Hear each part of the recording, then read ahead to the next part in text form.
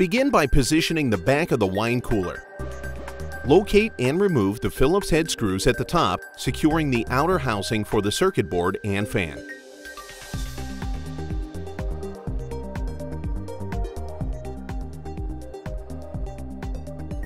With the outer housing removed, locate the circuit board above the fan. Unplug all the connectors on the circuit board. The white connectors lift off without any resistance. The blue connectors require pressure.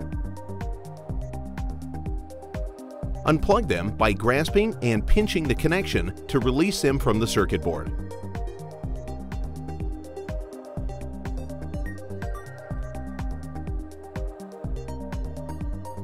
Plastic standoffs are removed by pinching the ends with pliers and lifting the circuit board forward.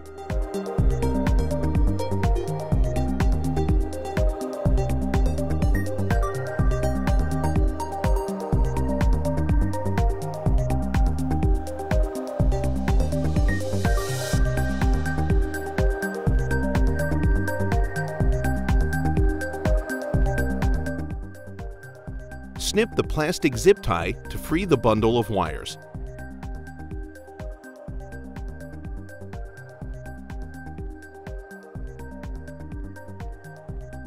To remove the fan, remove the screws located on each corner of the heatsink.